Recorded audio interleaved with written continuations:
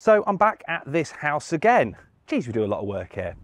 Anyway, we've got Marcus and David here. We're going to be fitting the GivEnergy all-in-one and gateway on this installation. We're going to be benefiting from a battery-only solution. So these GivEnergy units are apparently really easy to fit. So it's been delivered. So let's go and have a look at it.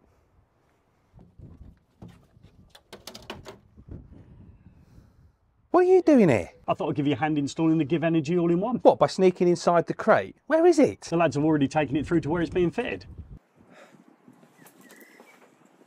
Marcus, thank you so much for coming along today. You've had a look at the job, is it straightforward enough? Yeah, it seems relatively straightforward and even better. Um, this is the first one I've ever done. Yeah. And after finding out I don't need to be MCS registered for this, it's actually given me an avenue for my business to maybe look and go and extend my business into this field. So So you've said we're going to be fitting the all-in-one in the office and the gateways going under the stairs. it is, yes. But that's going to need some ducting.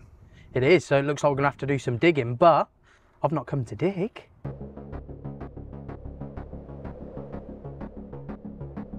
Rock, paper, scissors, shoot.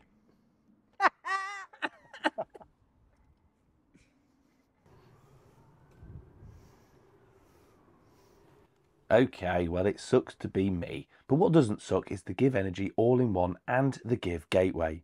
Let's dive into the specs. Starting with the Give Gateway, this clever little unit can give you the whole home backup in case the power goes. It can switch the power between the grid and battery and do all of this without anybody noticing. And it's also a central connection point for all your renewable technologies like an EV charger or your solar array. On the front of the gateway, we have a double pole switch for the grid and another one that says bypass and load, which in the case of the gateway is the whole installation. I'll be going into a little bit more detail on those switches and these meters a little later on in the video. So what does it really do? Well, this is where the Give Gateway is really clever. In the event of a power cut, it can switch over to backup power in under 20 milliseconds, but it can also optimize your PV generation. So for example, let's say we have a power cut, we have 70% in the battery, and we have power coming in from the PV array, the Give Gateway will automatically move the power to where it's needed. If the demand is in the property, it will send it there. Any surplus can get thrown back into the battery. But the customer won't even know that any of this is happening because, well, they won't know they've had a power cut. The all-in-one has four 3.4 kilowatt hour batteries, giving a total battery output of 13.5 kilowatt hour, and that with 100% depth of discharge. The battery, when fully loaded, is tipping the scales at 200 kilograms, so removing these batteries out of the unit is a must. Batteries on their own are still very heavy, so be careful. GivEnergy have fitted these suitcase type handles, and you have these handholds on the side to make manoeuvring them and carrying them a lot easier. So with the batteries removed from the all-in-one, it can be moved into the desired position. At the top of the all-in-one is the inverter. This 6 kilowatt beast is AC coupled, meaning it's only converting DC to AC once, which makes the whole process of DC to AC conversion more efficient. The all-in-one has built-in Wi-Fi and can also connect directly into a modem. So the all-in-one and the Give Gateway are IP65, so they can be installed outside, but GivEnergy do recommend they should be installed with a canopy. This is to protect from snow and frost which can sit on the units for an extended period of time. And like all other battery systems out there, if the temperature does drop, so will the efficiency of the battery, which is why it's important to discuss the location of the unit with the customer prior to installation so they're aware that the cold can affect the efficiency and output. What is cool though is that the technology in the unit will throttle back the power automatically when it does get a bit chilly, which ultimately will prolong the life of the battery. Right, let's go see what Marcus is up to. So we find Marcus with his laptop plugged in in what looks like he's commissioning the system, but he's not. What Marcus is actually doing is at the beginning of the job updating the firmware. Prior to this job, Marcus has put the updated firmware on a memory stick. So all he needs to do is plug into the GivEnergy all-in-one and it will automatically take that firmware. Meaning when it comes around to the commissioning process, it's not having to rely on the customer's Wi-Fi to download the firmware update. We forget, don't we, that it is a battery and inverter combo. So even though it's not connected to any mains power or the installation, it does have power. I mean, can you imagine encountering a problem at the end of the job? Certainly on those Fridays when you're trying to get away. You all right, David? What are you up to? Hi guys, you alright mate? Yeah, uh, just fitting this gateway under the stairs here. Oh, I'm a bit worried. Is that an inverter? And this is obviously a, a fire exit route with a stairs above it. Uh, Are we allowed to fit those under there? Oh no mate, this is not an inverter. It's, it's more likely the brains of the installation. Yeah, but for um, all the sparkies like yourself, it's just a fancy switch. Ah, you suggested I'm not uh, young enough to keep up with the latest I trends. No, you are absolutely, you're right. The customer at this property doesn't currently have a solar PV array. However, the GivEnergy Gateway has got you covered. This bidirectional RCD here can be used to feed either an existing inverter or a new one when you add it to the system in the future. It's got you covered. Right, so I've done the real hard work. So let's pass it over to our industry experts, David and Marcus. The cable run is following the same route as a cable I fitted when I did the EV charger at this installation. The floorboards come up a breeze and David drills through to go above the conservatory. David has also left a bit of spare cable in the floor space as the conservatory is being removed in a few months' time, so allowing it to be repositioned when the new extension goes in. He's a thoughtful one.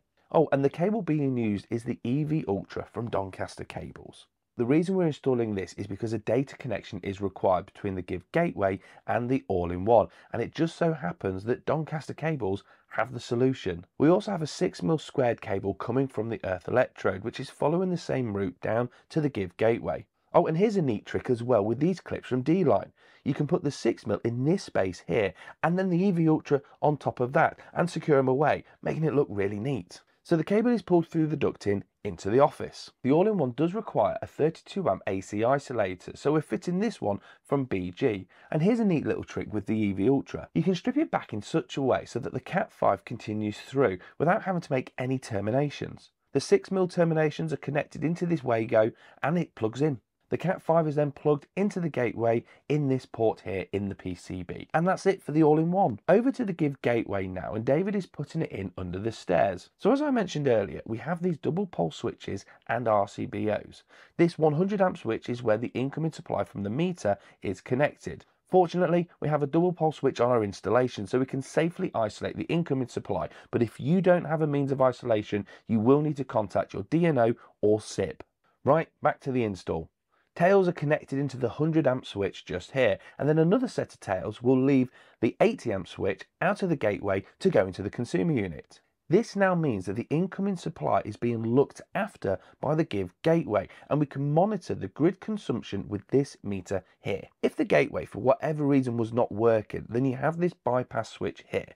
A busbar between the terminations will loop straight through to the load tails. But I don't think it gets switched on that often, not after I found out what the warranty period is for these units. We'll find that out in a bit. The all-in-one is connected into this RCBO, and we have the other RCBO which goes to the PV array that Gary told us about earlier. Gas.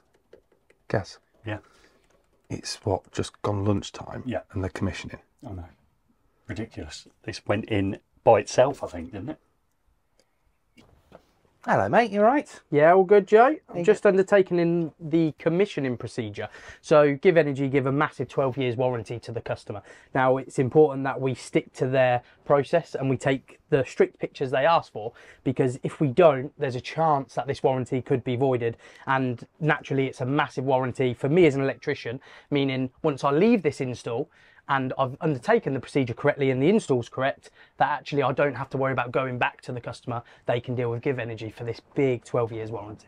So to get this 12-year warranty, you've just got to take a photo. A bit more difficult than that, Joe. It's not one photo, it's just a handful of photos. So I'm just finishing the commissioning procedure, Joe. Um, basically, a, a tick box exercise, um, a form on their community page, on their website. You have to log into their portal.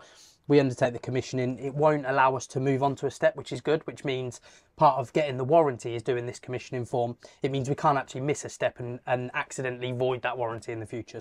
I just thought he was taking photos of his work. Who am I to judge? GivEnergy offer a free training program at their HQ in Newcastle under Lyme, and I went along for the day to see all the guys at GivEnergy HQ. And it wasn't just about how great the unit is and a complete sales pitch, it was practical, informative, and I got to have a go at commissioning a unit myself. Once you've completed the training, GivEnergy will set you up with a company portal where you can assign your electricians and installers, and you can set up all of your customer accounts as well. And commissioning the unit couldn't be easier.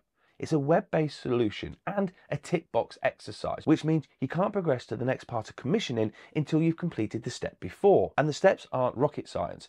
Inputting serial numbers, if it has a solar array, and those photographs which Marcus mentioned earlier, this is where we upload them into the commissioning process.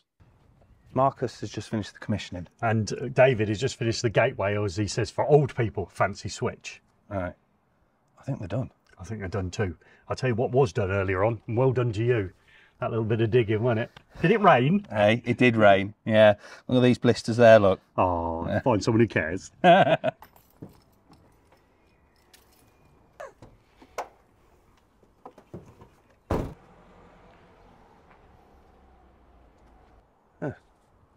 Well, there you have it. The GivEnergy all-in-one and gateway installed, commissioned and completed in just over three hours. If you want to find out more about it, we've left some links in the description to help you out, including the one day free training course. Oh, So I can't believe that's taken three hours to, to do. Unbelievable.